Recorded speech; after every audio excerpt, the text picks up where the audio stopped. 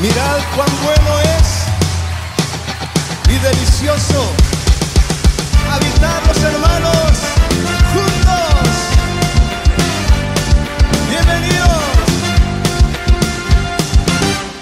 Bienvenido a esta iglesia que te ama, a esta iglesia